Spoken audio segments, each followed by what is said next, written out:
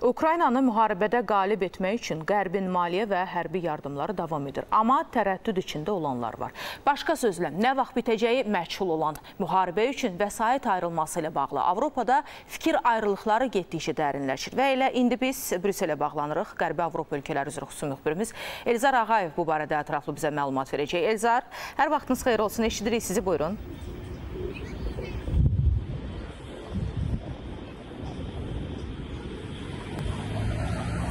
Salam Samir, axşamınız xeyir. Samir, Ukrayna-Rusiya müharibəsi davam etdikcə Avropa İttifaqının e, bu müharibəyə xərclədiyi vəsaitlər də artır və artıq bu məsələ Avropa İttifaqında müəyyən suallar doğurur. İstər Avropa İttifaqının ölkələrinin cəmiyyətlərində, mediasında, istər siyasi dairələrində belə bir sual e, dolaşmaqdadır ki, bu qədər məsrəf qarşılığında Ukrayna nəyə nail olub və bundan sonra bu cür geniş miqyaslı dəstəyi göstərməyə, davam etdirməyə dəyərmi?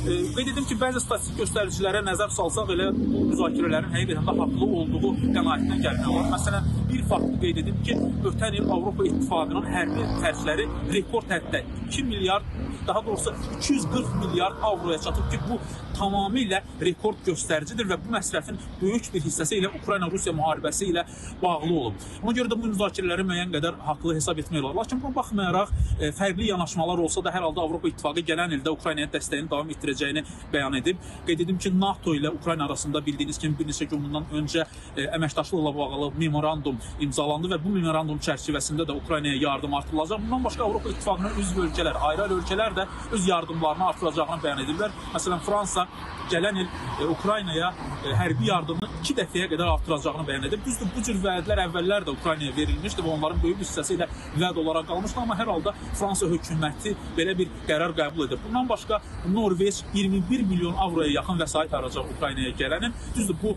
hərbi məsrəflərə ayrılmayacaq, əsasən ərzaq təminatının təmin edilməsinə, ərzaq təminatının həyata keçirilməsinə 21 milyon avro ayırmaq e, niyyətindədir. Belə e, Samirə, Rusiya-Ukrayna müharibəsi fonunda Avropadan son xəbərlər bunlardan ibarət idi və hadisələri izləməyə davam edirik. Söz sizdə. Ezər, təşəkkür edirik sizə, hörmət tamaşaçılar. Ukrayna ilə bağlı ətraflı məlumatları əldə etdik.